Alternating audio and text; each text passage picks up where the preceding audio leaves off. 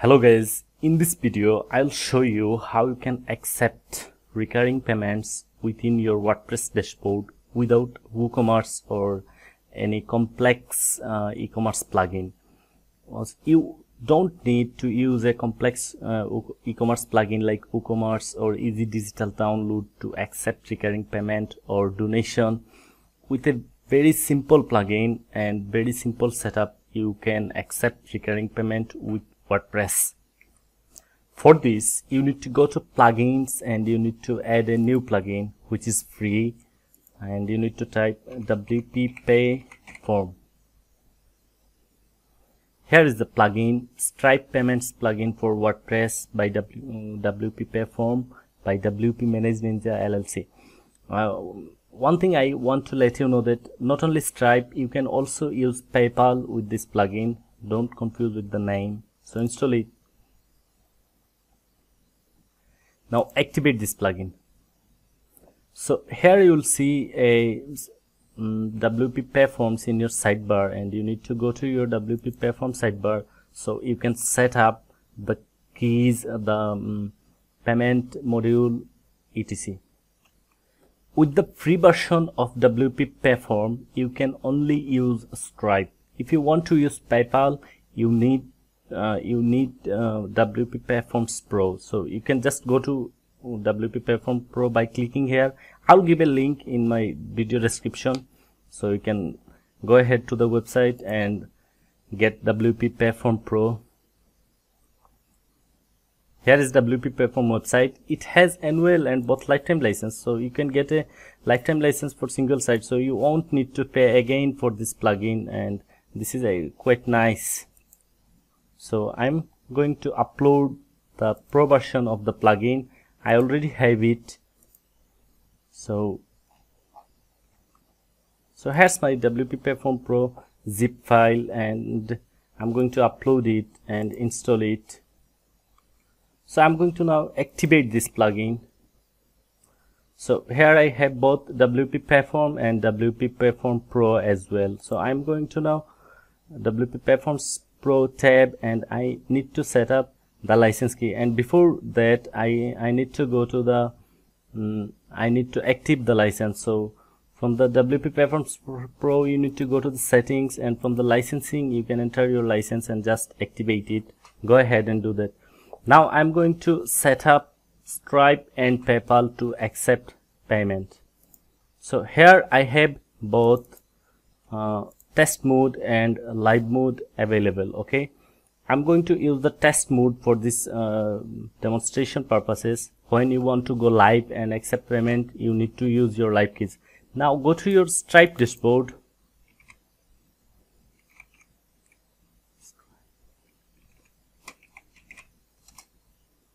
Log into your stripe dashboard and get the keys. You will get the keys very easily or you can read a um, after login you will get the keys both test keys and live keys. I'm going to pause the video and I'm going to enter my test keys here. So here I have activated my stripe test keys. Uh, you also need to do so. Go ahead and do that. You can also use your company or business name or a logo for your checkout page okay? So I'm going to add a dummy image here just for demonstration purposes and for this I'm going to use uh, okay my image.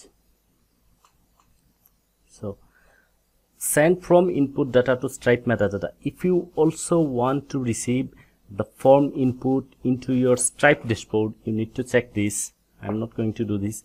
And when you are accepting recurring payment this is very important. You need to set up this webhook in your stripe dashboard. So I recommend you log into your stripe dashboard and set up this webhook for recurring payment and you are good to go. I'm going to save the settings here. Now let's come to paypal. And inside paypal you can use both live and sandbox mode also as you know. And i'm going to enter my paypal email here. So i have uh, entered my paypal email and here disable ipn verification option available. When you go live you need you need to disable this. But as I will test it with PayPal sandbox mode I'm going to disable IPN verification. I don't need IPN verification in the sandbox mode okay? So for checkout PayPal checkout logo I also use the previous image I used for Stripe which is I believe my image. Yeah. Okay. So you can set up the payment success page. I am going to leave it default. You can set a payment success page or payment failed page with any page you want. So I I have saved all the settings. So my stripe and paypal paypal sandbox and stripe test is okay to accept the test payment. Now i need to create the form. So to create the form i i need to go to the all forms from the left sidebar here and i'm going to click on create form. Here you will find couple of uh, template to use for i'm going to create just a blank form for demonstration purpose and i'm going to take the name field here. And after name field I am going to take the email field after name. Okay? Fine. Now I need to add a recurring payment item. So as I want to accept recurring payment either donation or for a product or for a service doesn't matter. We need to add a recurring payment item and we are going to set up the item okay? So subscription item I am leaving it as default. This is required field okay so price level definitely we want to show the price level and show payment summary. Yes we also want to show payment summary. And from here you can choose a, just a simple recurring plan or you can give option to user. So you have two recurring plan and user can choose any one of them. So i'm going to use just simple recurring plan a single plan which is going to be like uh, 11.99 per month like netflix charge so i'm going to this is the level okay plan name and this is the value. So i'm going to use 11.99 which is uh, the one month charge for netflix actually. So if you are accepting donation this field is very handy for you enable user input amount. So when you are accepting donation so you don't know how much the user will pay. So you can just leave leave to them. So user can just input their amount and pay. I'm going to deactivate it for now for demonstration purposes. I just want to accept 11.99 and now I am going to define whether I want to accept the payment monthly weekly daily or yearly. I'm going to choose monthly so 11.99 per month. So the product or service you are going to sell has any sign up fee? If it has any sign up fee you can take any sign up fee which will be charged only once okay? So for example 11.99 is monthly plan but 10 dollar is uh, sign up fee. So first month you the user will charge 10.10 plus 11.99 and from the second month user will be charged only 11.99 this is a one time fee. I do not have any sign up fee so i am turning off it. So if you are selling any um, software like product so trial days is very important and you can define trial days. So what will happen in this case the user will enter his uh, card or enter give his paypal info but the user will not charge instantly. So i have 10 trial days. So when the user pay the user will not charge but their information will be saved and after 10 day the user will be charged. 10 is the trial days for this product. Okay you can activate trial days. I'm going to deactivate it for demonstration purpose. And how much billing times you have how many how many time you want to charge the user okay? So leave it zero to charge um, each month until cancelled by the user or requested by the user. So i'm going to leave it zero. If you want to accept only mm, six month or only 12 month you can define it here and give it a value zero to charge it um, each month okay? So i'm going to update this field so setting successfully updated. So let's go back to the preview and see the form actually what it look like. So here is the name here is the email address and the subscription item 11.99 per month. As you can see you can customize it from here. You can give it any name subscription item and this level you can customize it as you want. And 11.99 for each month. I do not have any sign up fee or has trial days so whenever I am going to submit the form with test purposes. Submit it oh the form has been submitted. Why? Let us debug. So we set up the recurring payment item okay? But we didn't added any payment method yet.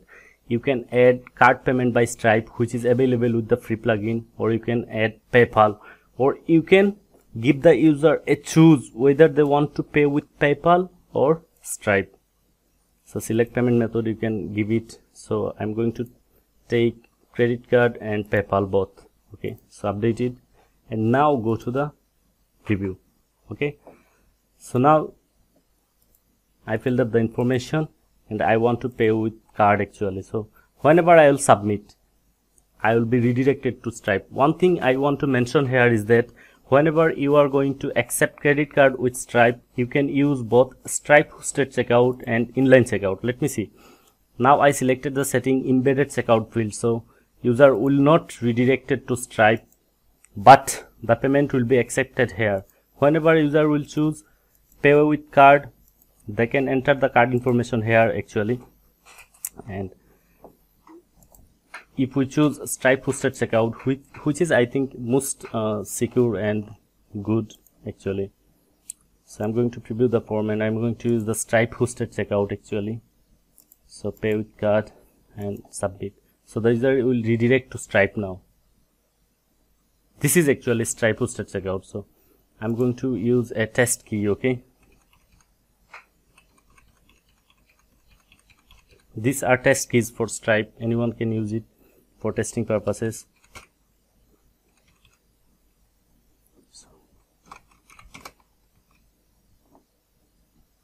Subscribe.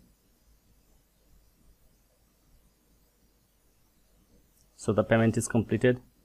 And here is the success page. You can define the success page as i have as i have told in the video earlier. So now you can go to the entries section and you can see that the first one is pending because we we uh, when we clicked and we didn't set up payment and it's not completed so it's showing pending. But the second one we just paid 11.99 with stripe test payment so it's marked as paid. You can also see the whole uh, entry here the name the email and the payment. And you can also see the submission log which event occurred actually and another important thing when you are accepting payment is the is the email notification okay? You you can turn on the email notification. So whenever someone pay you will get a notification in your email admin email. This is the email you have used to create your site. This is the admin email of the wordpress okay? You can give your uh, any email here. But i'm going to use the admin email and reply to definitely customer email. Whichever email the customer will enter in here is going to be the reply to email. Now you can give a subject and you can get the data in your email also. And here is the thing you need to click on on payment success okay? After form submission only work when you do not have any payment method field so when you are using any payment method you need to check the on payment success and update. Now whenever someone will pay the admin of the site will be notified by email. This is a very useful feature and you can use that. So i think in this way you can accept recurring payment you can sell a service with recurring payment you can accept donation with recurring payment. This plugin also offers simple payment. So let me show you this real quick. So i'm going to remove the recurring payment option. I'm going to delete it and i'm going to use just a simple payment item okay? So it's not recurring just one time charge whatever i will define. For example 100 and the payment item is going to be my ebook. I'm going to sell the ebook for 100 so update it. Go to the preview form. And the user only charge for my ebook 100 for only once. It's not recurring. So with this plugin you can you can take both recurring payment and simple payment. And i think you will love the simplicity and the simple user interface and the simplicity of the plugin thanks for watching this video and if you like this video just give a thumbs up and uh, you can subscribe as